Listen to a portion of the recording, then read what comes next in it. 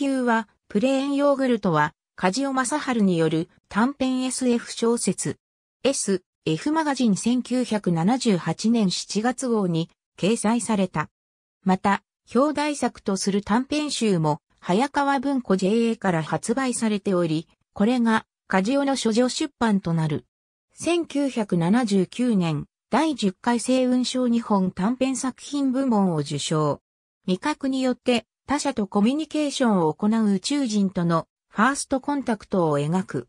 タイトルはその宇宙人にとって地球を表す言語がプレーンヨーグルトだったことに由来する。ある日、UFO が墜落し、その中から二人のタコのような宇宙人が回収される。一人は生きていたが、もう一人は死んでいたようだった。その宇宙人は他者とのコミュニケーションを味覚によって言っていた。互いが放出する粘液の質を変化させ、それを10本の触手の先にある未来で理解し話し合うことでコミュニケーションをとっていたのだった。宇宙人と対話を行うために様々な料理人が集められた。また、日本のフィクサーとも言われ、地球上のすべての美食を堪能したとも言われる、美食家、気食家の老人も呼び寄せられた。老人が宇宙人の言語を味わい、その味に対応する料理を告げる。それとともに意味を言語学者が分析しデータベース化することで言語辞書が作成されていった。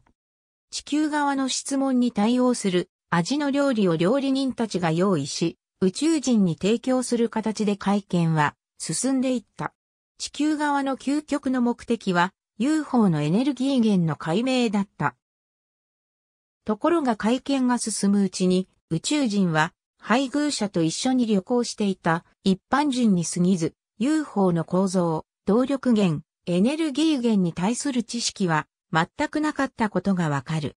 その宇宙人が言うところの手のひらの肉のステーキの味が意味するエネルギーが何なのか地球上に存在するのか否かも全くわからずにいた。宇宙人は配偶者の安否を気にしていた。宇宙人は一度死亡しても外傷さえなければ生き返るというのだ。ところが、これに役人たちは青ざめる。配偶者は死亡したものと判断し、司法解剖を行ってしまっていたのだった。これ以上、得られる情報はないと配偶者の死亡を宇宙人に告げるが、解剖を担当した役人が、次は自分を宇宙人に食べさせる気かと乱心。近くのものを手当たり次第に投げつけ始めた。ラー油とタバスコの瓶が宇宙人に飛んでいき、その未来に中身が振り交った。すると、宇宙人は激しい反応を引き起こすとともに、激しく言語を分泌し始めた。宇宙人にとって、ラー油とタバスコの複合味は最高に性的なニュアンスの求愛を意味したのだ。配偶者の死を告げた直後に、エロチックな求愛をする地球人たちを宇宙人は罵り、呪いを意味する言語を撒き散らす。その味を口にした老人は、今までに体験したことのない美味に狂気した。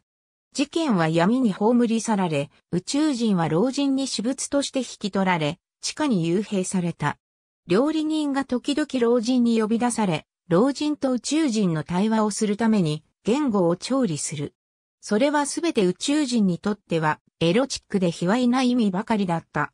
それに反発し、宇宙人は罵り、呪いを意味する言語を撒き散らす。それを老人は恍惚の表情で味わい続けるのだった。ありがとうございます。